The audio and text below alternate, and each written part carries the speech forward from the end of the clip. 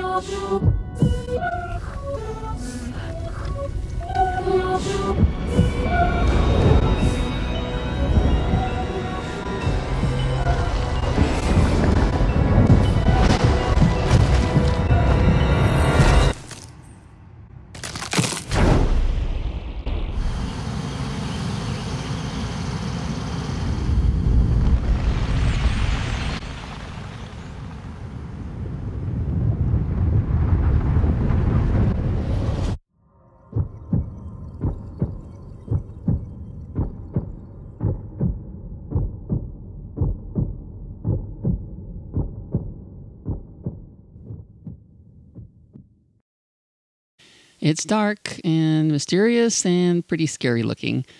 And it also looks like Nintendo is addressing our demand for a proper Breath of the Wild dungeon environment. Zelda as an active companion to Link looks pretty promising, and there are portentous indications of information regarding Hyrule cultural history and the role of Ganondorf as the villain in the reunited timeline of the Zeldaverse.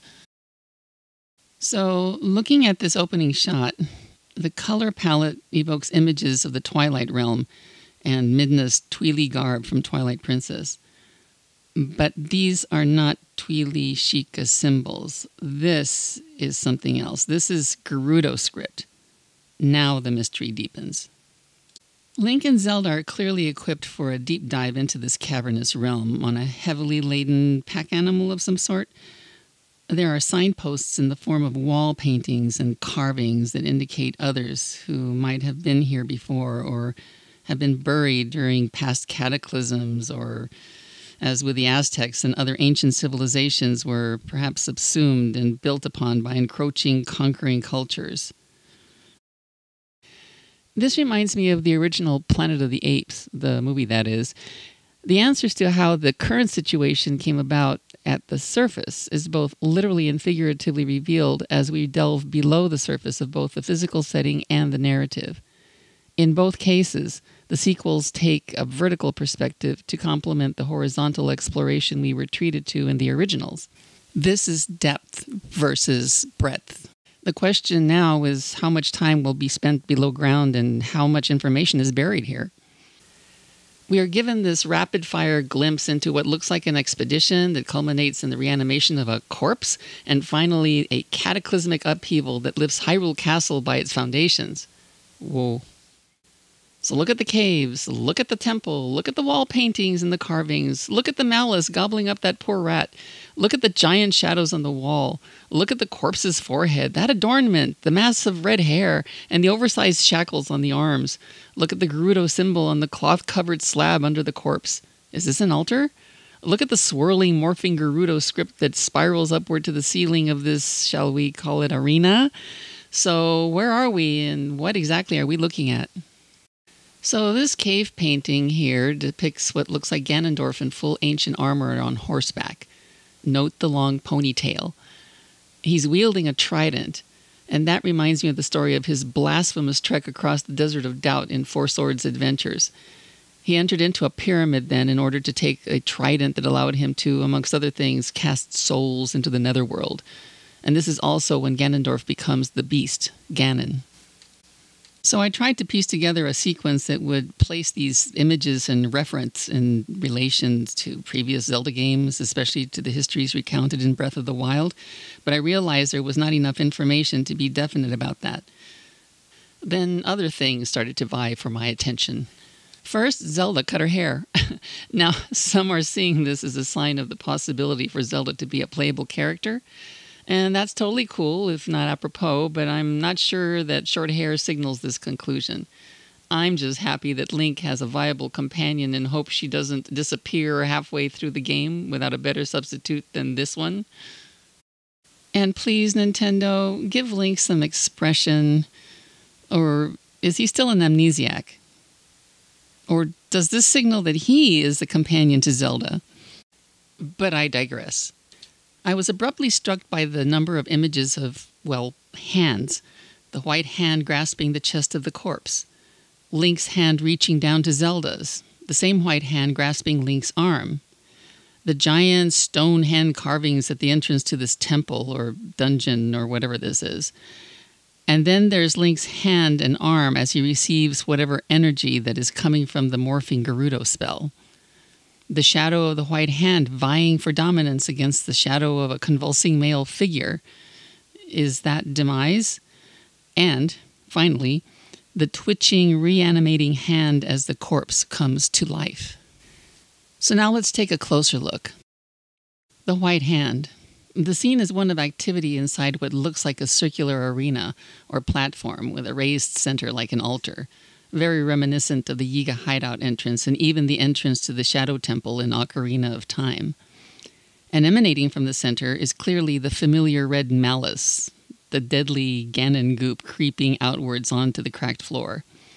A swirling blue green string of morphing symbols spirals through this disembodied hand upward towards the ceiling from the chest of this corpse between the nexus and the ceiling of what looks like a convergence of Sheikah tech or guardian legs is a string or conduit of the same malice, and all this actively flowing out from the white hand and the chest of the corpse, not in towards them.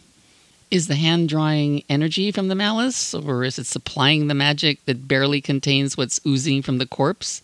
And what is the relationship between the corpse, the hand, the magic, the malice, and the Sheikah tech in this instance? The white hand sports an arm brace that is in the design of a stylistically coiled serpent. And the color is that unique coral orange of Midna's hair, which, by the way, itself changes into a hand when she wields her power.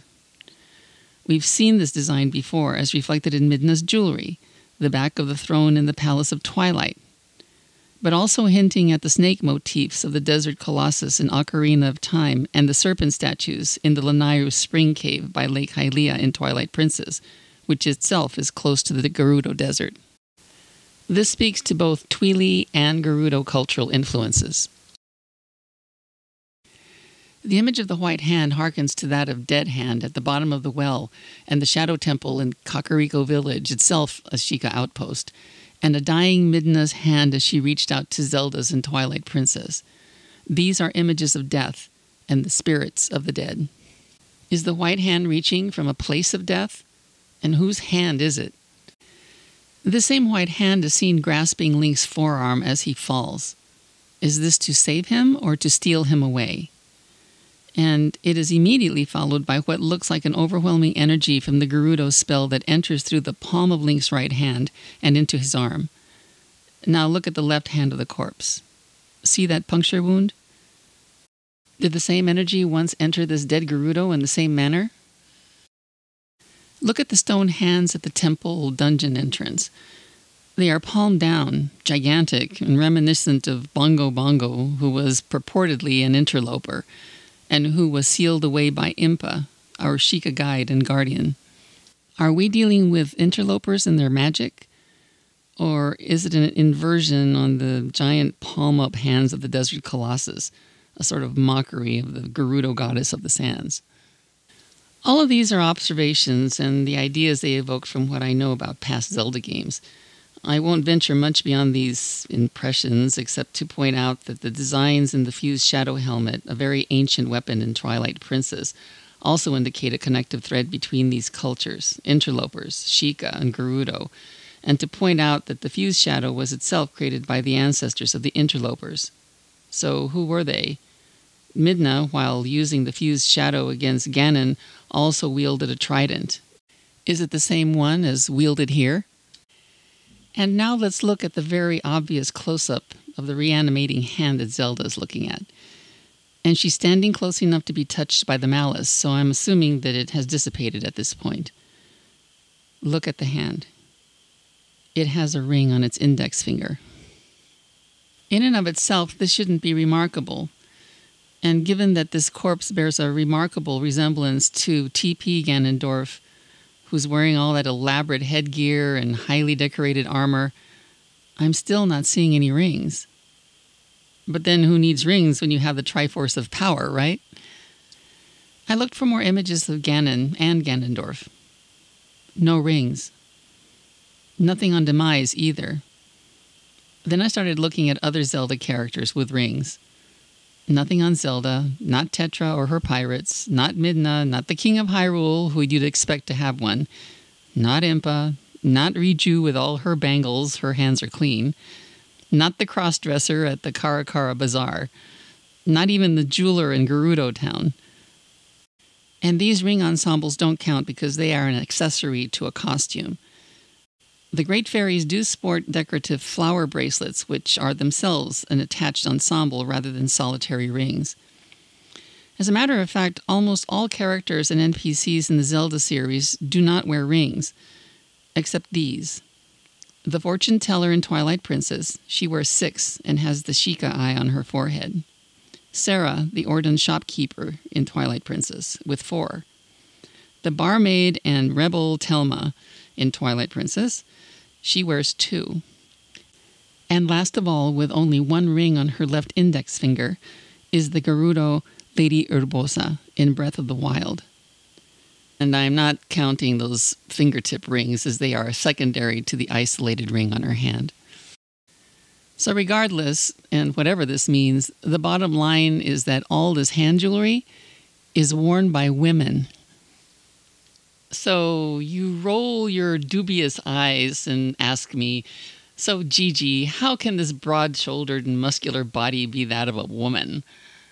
In spite of the oversized shackles that speak to gigantic arms that at first glance might have been those of someone like Ganondorf or Yuga Ganon or even Demise, I present to you as comparative forensic evidence the physique of Riju's bodyguard, Buliara.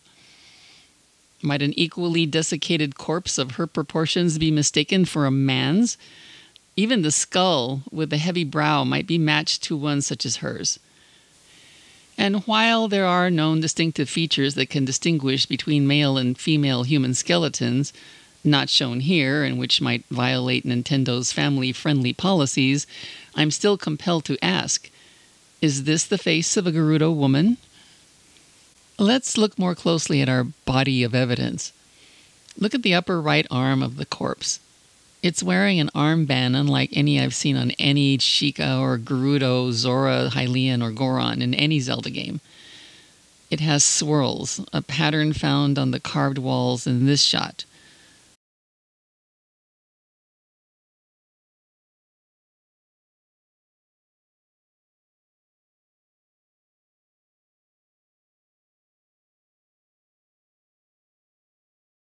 But this pattern is also evident in the Korok puzzles, the Lomei labyrinths. That swirly thing is very much like this swirly peninsula that we've got out there. The whole of the Rist Peninsula, and of course in the Faron Zonai temple area in Breath of the Wild. And who is this person wearing such symbols? And maybe we're not looking at a Gerudo. Is this a Zonai? Finally, in a flash, we get a glimpse of what looks like a ritual and a giant shadow cast on the wall in the shape of what looks like demise and the shadow of the white hand, which is no longer disembodied. The shadows have no corresponding objects or figures casting them. Is this the representation of demise or Ganon, his hatred and his curse? What role is the hand playing here? Is this the shadow of an agent of sealing or resurrection? Or is this rather the shadow of the never ending struggle to either seal or reanimate Ganon, his spirit, and his wrath? And speaking of wrath, I was reminded of Urbosa's spiritual gift to Link, the power of her fury, a force emanating from her being and used as an avenging weapon through Va Naboris. Now, the divine beast, fully activated, harnessed a power that could only be directed by spiritual energy. Urbosa's anger towards Ganondorf and what he had done to her people and the world festered for a hundred years before imparting that energy to Link. Could Urbosa's power be uniquely connected to Demise's curse? Can that curse inhabit the mind and body of anyone the way that the champions could impart their energy to Link? I'm not sure where I'm going with this, but it feels as if there may be a connection between the champion's power and Ganon's power that has nothing to do with the Triforce. The English mistranslation of Zelda's words during the final cutscenes in Breath of the Wild can have a radical effect on how reincarnation is treated by Western reviewers of the game. If, as the Japanese original says, Ganon was obsessed with reincarnation, why was there not a corporal Ganondorf in Breath of the Wild? But if we take the Western translation that he gave up on reincarnation, then any form of Ganon's spirit of hatred, as with Calamity Ganon and his blights, could manifest itself in anything, like the Guardians, or in any one, like Urbosa, or someone else. And did Demise's curse include the hero depicted in the tapestry shown as Impa and Kass recited the history of ancient Hyrule? While it has been assumed the hero in the tapestry is Link, could it be that, in fact, this is Ganondorf, as some have suggested, or is that a female warrior? Or the original Gerudo champion? Look at the arm of the hero. The hand glows white with the power that we saw infusing Link. The red hair flows from the face and head. Could that figure be wearing a red Gerudo veil, for instance, taking the role of the hero and attacking Calamity Ganon as a mighty Gerudo warrior would if she had been given the chance? So I could go on with other things I noticed, like the raised altar and its similarity to the entrance of the Yiga hideout or that of the Shadow Temple as sites of ritual association with death and resurrection. The swirling pattern in the floor of the final boss arena in the Wind Waker and its resemblance to the swirling spell and the vortex that may literally be Rist Peninsula. Or if this is an arena, is this the Arbiter's grounds beneath the Gerudo Sands where many Gerudo and others died and were sealed away to other realms? Or I could speculate on the history of the ancient Zonai and how they might fit into this narrative, how the Twili might have been involved. But we need more information. I believe that we might be dealing with a revelation of some sort of Twili slash interloper slash Zonai connection to Sheikah slash Gerudo ritual magic or some kind of conjuring. And this person is being used as a conduit of ancient power tied to either resurrection or sealing rituals involving the curse of demise. And again, I return to the question who is this corpse? I can't help thinking why the origins of the powers of the champions are not discussed in Breath of the Wild. How did they come by them? And note that, as with Zelda, the palm of the hand is where the champion's power emanates. Are the champions connected to what we are seeing here? Are they related to perhaps the seven heroines? Is this the remains of the eighth heroine? Or are we looking at this guy, Yuga, from a link between worlds? Or is this simply Ganondorf and the garb just a decoy? So that's my two bits, girls and boys, on this little clip. Even if I'm way out there at this stage, it should be okay to stretch the imagination with these tidbits. Uh, is it simply what it looks like? A male Gerudo? Ganondorf? Mm, I'm thinking this corpse is not Ganondorf from Twilight Princess. The hole in the corpse's left hand, the ring, and the armband design raise questions about its cultural origins as well as its gender. I'll be speculating some more surrounding the Zonai interloper Twili presence in the sequel as we see what else Nintendo comes up with in the way of clues. They'll be juicy, I'm sure. Feel free to comment and share. Just keep it civil and open minded, okay? Later. And register to vote.